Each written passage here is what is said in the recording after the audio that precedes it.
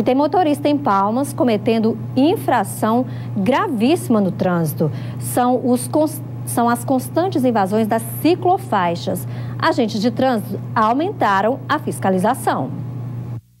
O transporte do Rony é a bicicleta e todo dia ele tem que contornar os imprevistos no trânsito devido à falta de respeito dos motoristas. Apesar de já conhecer as regras de trânsito, saber que existe a preferência, por exemplo, na rotatória, mas eu ando sempre com a precaução, né? É, eu sei que o pessoal às vezes não enxerga o ciclista ou tem gente que realmente não respeita, aí eu já ando sempre com a mão no freio e já esperando que a pessoa não me veja. Aí se o carro tá vindo, não sei se vai, se não vai, eu já paro. E olha que ele está certíssimo em ter medo. Em menos de uma hora que a nossa equipe ficou na Avenida Teotônio Segurado, flagramos vários carros circulando tranquilamente no espaço que é destinado aos ciclistas. A ciclofaixa, que corta os principais pontos da Teotônio Segurado, foi inaugurada no ano passado, mas ela tem um horário específico para o funcionamento. Eu já passei várias vezes e deixei de usá-la por conta do desrespeito, que é muito grande, é constante.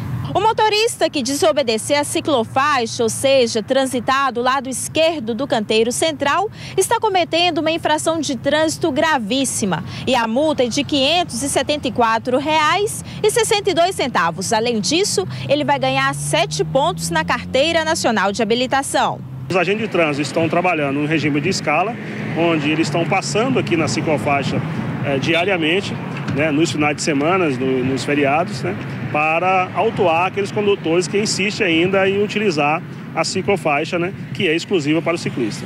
O agente de trânsito ainda explica que para todos conviverem com as três faixas, tanto ciclistas, motoristas e pedestres, é preciso conscientização de todos. No início a gente estava com um trabalho mais de orientação, Hoje a gente está com uma fiscalização mais efetiva e a gente tem notado que tem aumentado o número de pessoas que são é, é, cometem essa infração. E quem usa espaço acredita que é preciso de mais respeito com quem optou pelo transporte alternativo. Como é só um do três dias na semana, às vezes dependendo dos feriados, acho que não tem problema ceder uma faixa para o ciclista, né?